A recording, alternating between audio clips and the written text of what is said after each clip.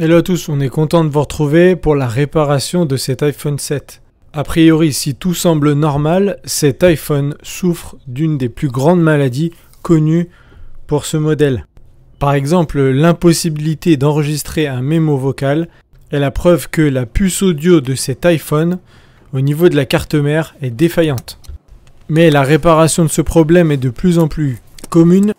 Les réparateurs sont plus outillés et plus qualifiés.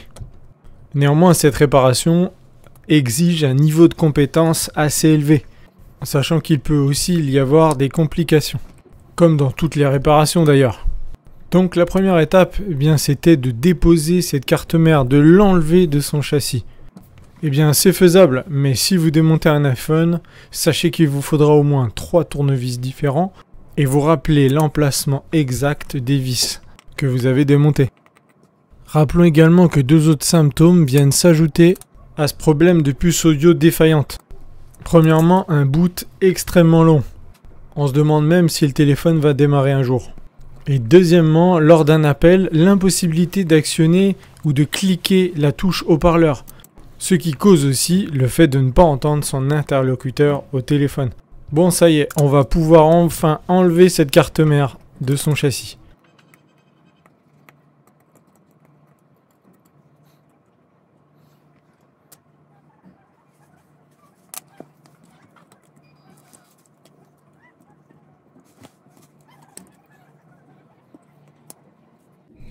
Voilà la partie la plus technique de la réparation nous allons utiliser un support de carte mère pour opérer littéralement le cerveau de cet iPhone 7. Ce support est compatible avec les modèles iPhone 5 jusqu'à iPhone 8. Vraiment pratique. On vous mettra le lien dans la description. Pour accéder à la puce audio, il nous reste encore une dernière étape. Il va falloir enlever ce film aluminium noir, ce cache de protection.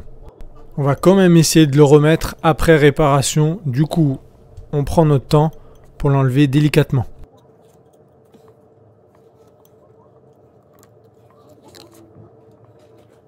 Une autre étape intéressante, c'est la protection d'un composant indispensable au bon fonctionnement de cet iPhone, la mémoire. Un petit bouclier métallique fera l'affaire. Le petit bourdonnement que vous entendez, c'est parce que notre technicien a actionné le système de filtration. Nous allons devoir chauffer la zone concernée à plus de 400 degrés Celsius. En fonction du flux à soudure utilisé, des fumées plus ou moins toxiques vont s'échapper. D'ailleurs, notre technicien porte un demi-masque respiratoire complètement étanche pour le soudage. Le flux à soudure va permettre de désolidariser la puce audio de la carte mère plus efficacement et sans endommager les pistes de la carte mère. Nous avons réglé notre station à air chaud Vélair à 410 degrés Celsius avec un débit d'air à 13%. Plus vous augmentez la température, plus rapide sera le dessoudage. Nous ne disons pas que c'est un réglage idéal, mais nous n'avons pas eu de complications après cette réparation. En fait, voici le risque que vous encourez si vous effectuez cette réparation. Chaque puce est soudée sur la carte mère par l'intermédiaire de microbilles faisant contact entre la carte mère et la puce. Lors d'une chauffe trop importante ou mal localisée, il y a un risque pour que les microbilles se détachent d'elles-mêmes. Cela n'est pas important quand cela implique le composant que vous souhaitez enlever. Mais comme beaucoup de constructeurs, Apple a décidé de placer des composants de part et d'autre de la carte PCB. Donc chaque fois qu'une opération est réalisée sur un côté de cette carte mère, cela peut avoir un impact sur l'autre côté de la carte mère.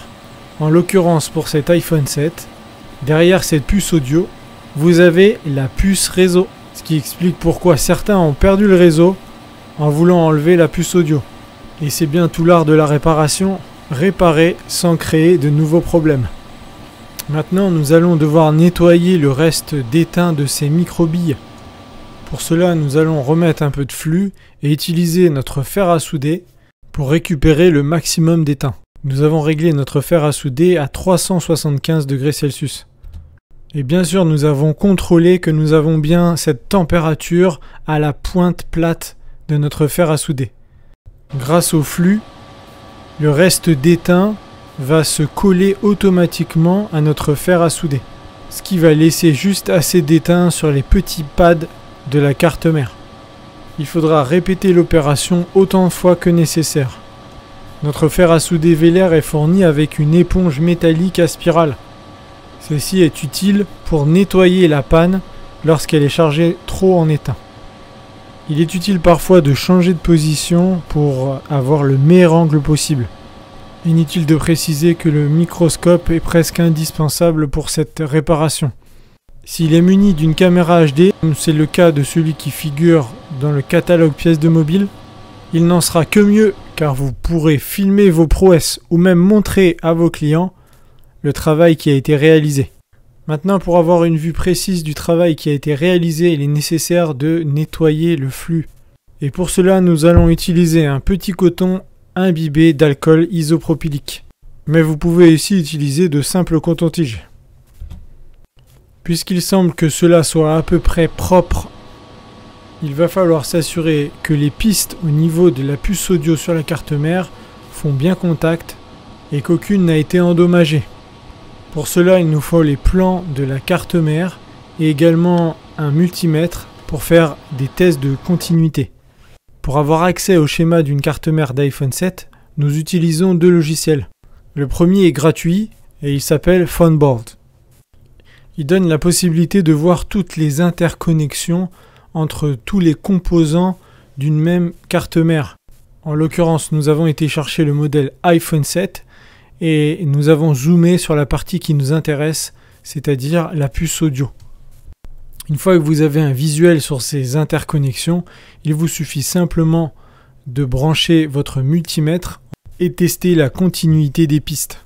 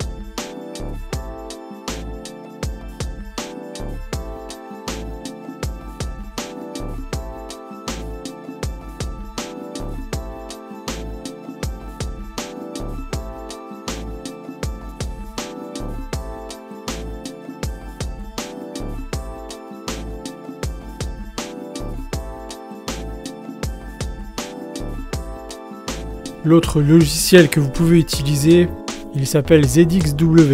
Il est beaucoup plus complet, mais celui-ci est payant à l'année. Vous avez beaucoup plus de modèles de téléphone, mais aussi les schémas d'interconnexion et les schémas techniques de tous les iPhones. Donc c'est un logiciel très pointu qui devrait satisfaire tous les réparateurs de cartes mères.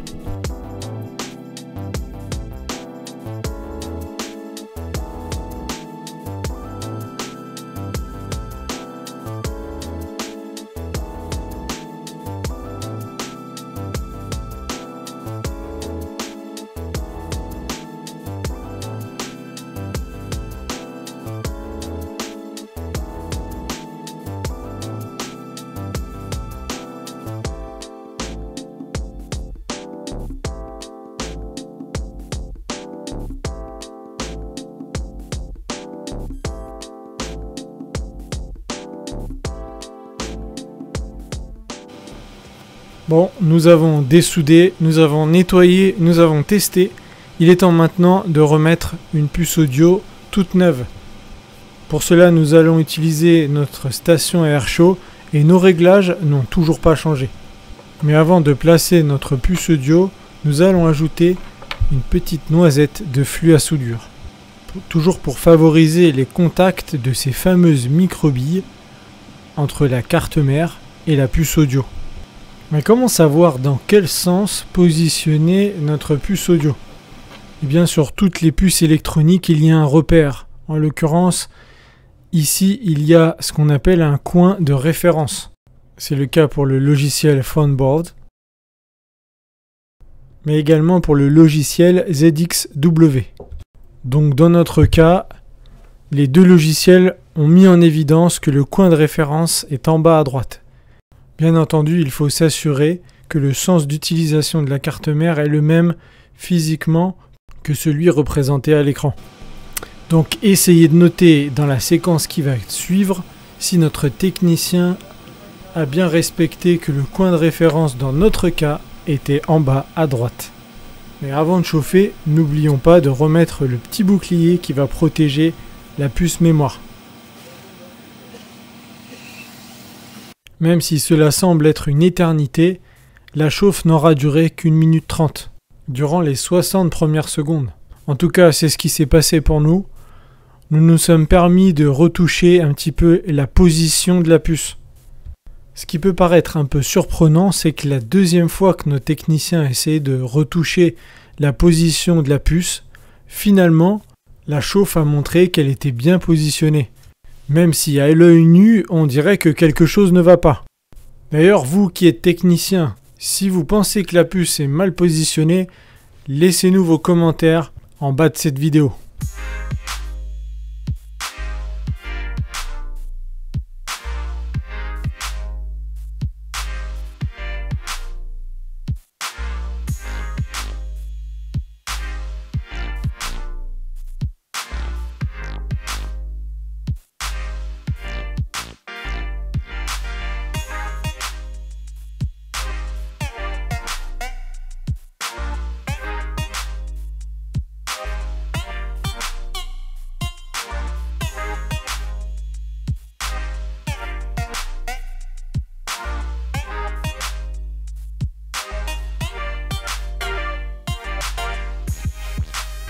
C'est maintenant que tout se joue, la fusion est en cours et chacun va prendre sa place. Vous avez vu? D'ailleurs, notre technicien a fait quelque chose d'assez osé. Pendant que les billes étaient en pleine fusion et pour voir si la puce était bien positionnée, il lui a donné un petit coup en haut à droite. Bon, apparemment tout le monde est en place. Il faut laisser cette carte mère refroidir un petit peu. Et pourquoi pas nettoyer les petits restes de flux à soudure qui ont séché sur les côtés.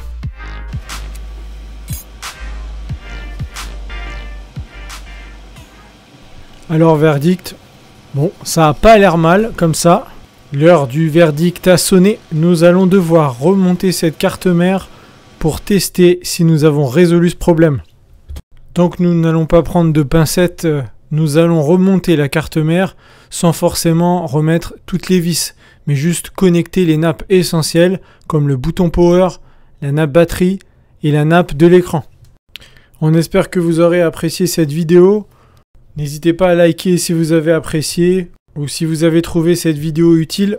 Normalement, on vous a mis dans la description tout ce dont vous avez besoin pour effectuer cette réparation. Mais si vous manque quelque chose ou si vous avez des questions, on essaiera d'y répondre autant que faire se peut. Si vous avez déjà eu ce genre de réparation vous avez fait réparer votre puce audio, laissez-nous dans la description en commentaire et dites-nous, est-ce que vous avez rencontré d'autres problèmes après la réparation, que ce soit de son ou autre? Ça nous intéresse de savoir si cette réparation est sûre ou pas. Bon, vous vous en doutez certainement, si on a pris la peine de mettre en ligne cette vidéo, c'est qu'on s'est assuré que ça fonctionnait mais à l'heure où on vous parle, c'est-à-dire un mois après cette réparation, on peut vous affirmer et vous confirmer que la puce audio de ce téléphone fonctionne toujours. Allez, c'est le moment de vérité, roulement de tambour.